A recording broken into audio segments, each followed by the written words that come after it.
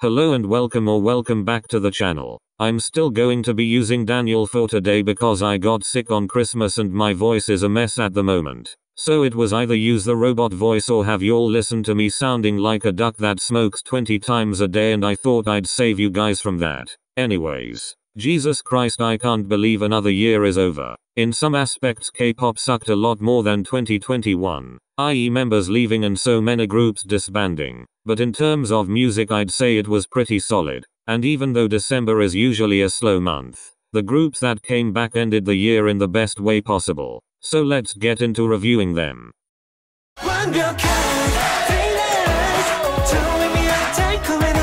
This is all of the things that made third gen music great. It slightly reminds me of On and Off's We Must Love and maybe something Astro did. The production is far better than what I expected and I like that the song highlighted each of the individual members. I only found out about this debut because people were talking about how the Maknae is 27. I honestly think that having older idols is very refreshing and is much needed. The last time I saw an older idol debut would be KB from OnlyOneOf or even Solar and Irene, which is really silly to me cause they were only 23 when they debuted. But seriously I don't understand why people think there's an age cutoff for idols to debut at. Like why do you want all of your faves to debut so freakishly young? I'm not hating on groups that have young members who are in their mid or even early teens, but their young age is definitely a cause for concern over their well-being. I really hope debuting at an older age gets more normalized for boy and girl groups especially girl groups cause the general public is especially harsh towards women aging in general.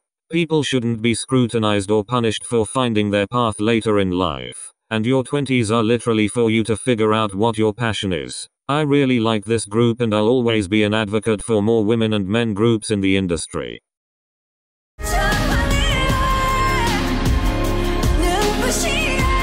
This is exactly what we needed to close the year with. God damn it RM why do you have to be so perfect? This song deserves to be the ending score of an epic Oscar winning movie. Forever Rain is one of my fave songs ever, so I immediately fell in love with Wildflower. The lyrics are so sentimental and humble. It's like he's reciting poetry, his own scriptures and parables that he's written to help you get through the tough times and to teach you how to live life to the fullest. Indigo really is his magnum opus as of yet, and his ode to armies. I feel like youjeen's voice is quite similar to Jimin's and I would love to see him and RM perform Wildflower together at a concert in the future. I also love how RM basically rang up all of his friends in the biz for this album cause it just goes to show how far he and BTS have come, which makes me very proud. The BTS Hyung line really had me at two extremes this year. Sope had me shaking my ass to that that and wreaking havoc with arson. And then on the other end of the spectrum, Namjin left me heartbroken and sobbing under my blanket at 4 in the morning. Loved that.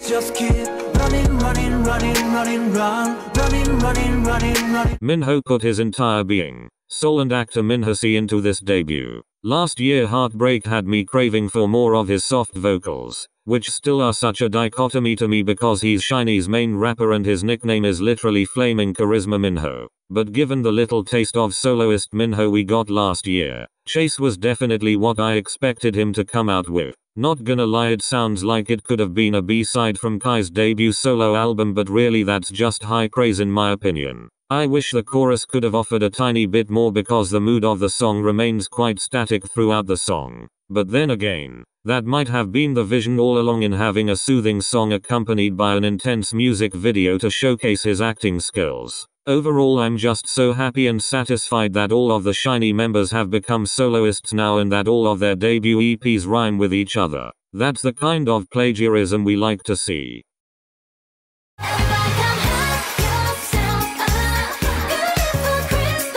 Finally, the collaboration that I've been waiting for. My heart pretty much exploded when the first teaser was released. I'm hoping for another future collab that's not for Christmas cause I'm not a big fan of Christmas K-pop songs and I only really like a few of them. I find them to be cheesy which is why I won't be reviewing any other Christmassy release in this review. But no hate if y'all like them. It's just personal taste. Hopefully we'll get a Wow Thing 2.0 in 2023. Plus we're gonna be getting a Got the Beat mini album soon anyways.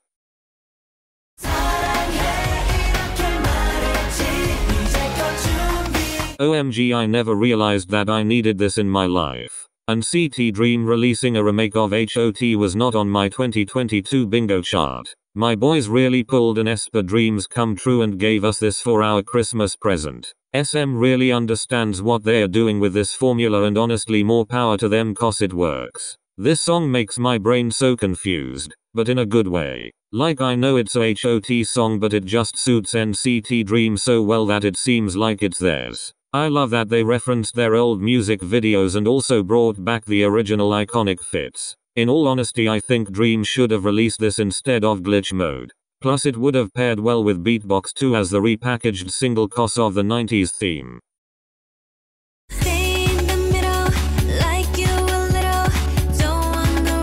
GFriend and LOONA walked so NewJeans could run. I really miss those two groups so I'm really thankful that NewJeans are keeping that special aspect of storytelling and dreamy yet upbeat music in K-pop alive in the new generation. Immediately when the song began and Hyun was doing her thing with her soft vocals, I knew I was in for something special. The song is so simple, yet time and time again, these girls prove that there is beauty in simplicity. In fact simplicity in my opinion leaves more room for artistic expression and audience interpretation. That's a tool that LOONA and GFriend's team capitalized on in their lore and you can't help but be hooked and descend down the rabbit hole. No pun intended. I like that they are fully committed to the concept and aesthetic they debuted with cause it creates something that is so iconic and wholly NewJeans. I'm scared for what's gonna happen when OMG drops cause I don't think I'm ready.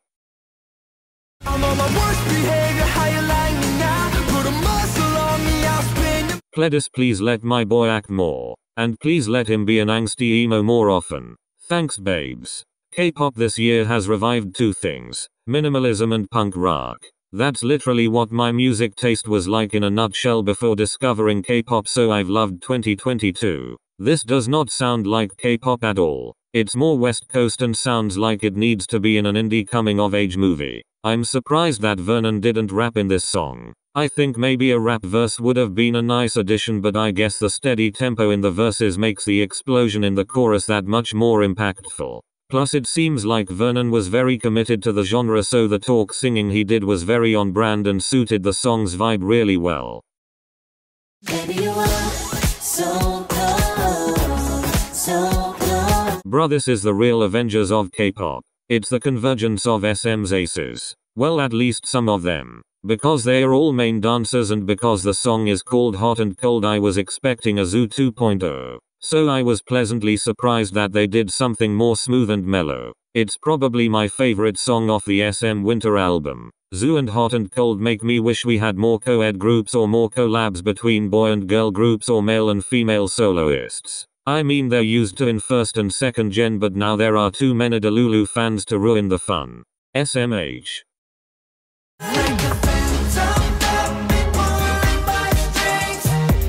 This is WayV's best song. Go argue with the wall. Label V saw and listened to people's grievances with Kickback and they let Wavy return with the sound that put them on the map with Moonwalk. WayV's way of mixing the classical genre with today's music always amazes me. It's like having a dark and sinister symphony do a gig at a club and it somehow works. It's a majestic banger. It's also so fitting with the concept since they are taking inspiration from the Phantom of the Opera. Despite the song almost being 4 minutes long, I really could have gone another round with the chorus where it just explodes to the point that you start to see the gates of heaven. Or hell cause Lord knows this song is deliciously sinful. I had my expectations high when I saw the dark royalty themed teaser images, and these boys did not disappoint. I'd say that this was well worth the long ass wait but I wish we had all seven of them here. Side note, my boy Yang Yang looks a little too good on the Iron Throne. He should have been crowned Lord of the Seven Kingdoms at the end of Game of Thrones. He was robbed I tell you.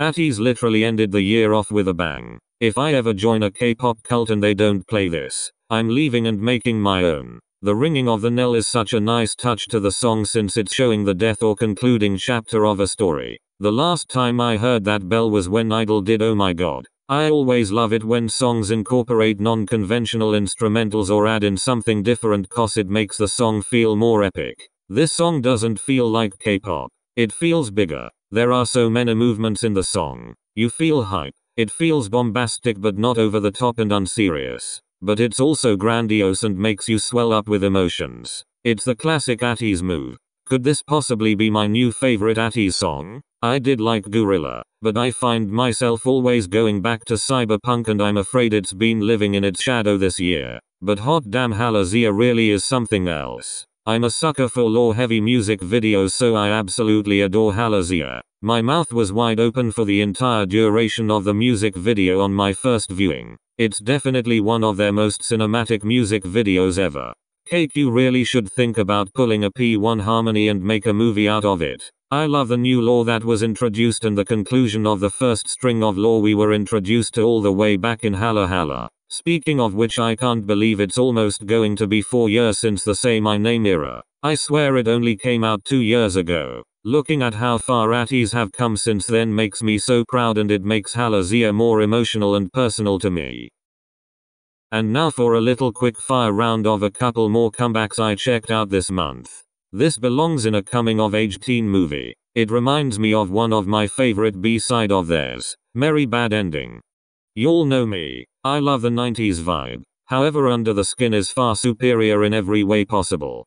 Oh hell yeah a co-ed rock band. Everyone please check them out cause they deserve to blow up. Sounds like a West Coast 90s song. Like Kids in America. It's such a perfect summer road trip song and it kind of reminds me of Day 6. I love that Yukyung got to re-debut and be in her element cause she was done so dirty by FNC when they decided to change AOA's concept. Yukika's voice just suits the underground speakeasy vibe so well. Hope we get a full-fledged comeback from her in 2023 cause I've missed her too much. For those who love NMIXX is cool, Taeyeon's Weekend or New Jeans' concept, then this song is definitely for you. Her voice is so cute yet you can also hear a subtle hint of soul in her voice too which suits the dreaminess of the song. Finally they put all of the Skiz players in an album. I'm so happy I could cry. I can finally add Drive to my midnight car ride playlist on Spotify. I don't keep up to date with most groups' Japanese releases so this is the first time I've heard FAM and I'm so disappointed with myself. I wish every group could do a song like this cause even though they are low key to sing each other at points, it's so wholesome. I missed her so much this year. It's been so long since Dive with You. She's been teasing a big release coming in 2023 and I am so hyped for it. If it's anything like her debut album then I'm a gonna. Signed my will and everything in preparation for what's coming. Alrighty then. That's all for the video. Thank you all for making 2022 a wonderful year here on the channel. I hope you all have had a lovely and relaxing holiday. Cheers to the new year everyone. Until next time, stay groovy, stay safe, keep smiling. Love you all. Bye bye.